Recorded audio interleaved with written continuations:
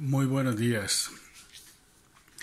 Eh, gracias, profesora, por eh, la invitación a eh, comunicar algunas palabras a, a los vecinos de, de, mi querido barrio.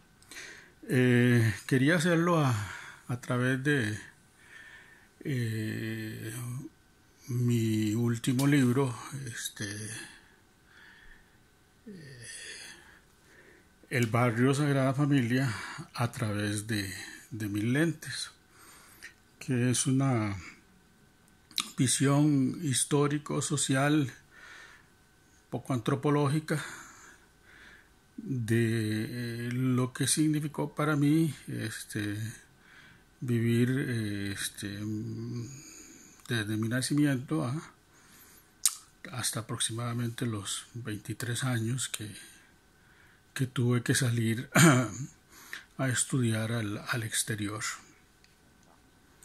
Eh, decía yo que entre recuerdos, nostalgias, desfilan por mi mente rostros de mujeres y hombres y niños de una colectividad humana que es mi barrio. Esta solidaridad humana ampliada y abierta, donde en las casas no se cierran las puertas y se abren los corazones. Años de ensueño cuando el rico nos veía como pobres y nosotros en verdad disfrutábamos la vida. Teníamos calles, terrenos donde jugar y comer frutas, saltar las piedras del río y tirar piedras a los sopilotes del crematorio. Nuestras mentes estaban llenas de sueños.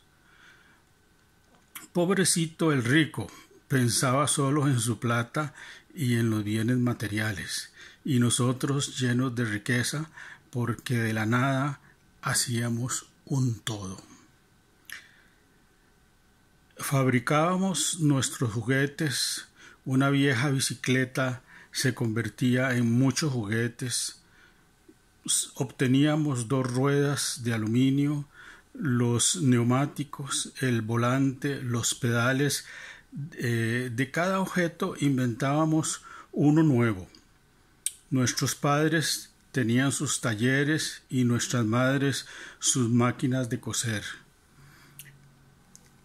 La una le vendía a la otra, abundaba el trabajo, zapateros, joyeros, ebanistas, constructores y eh, vendedores de ilusiones.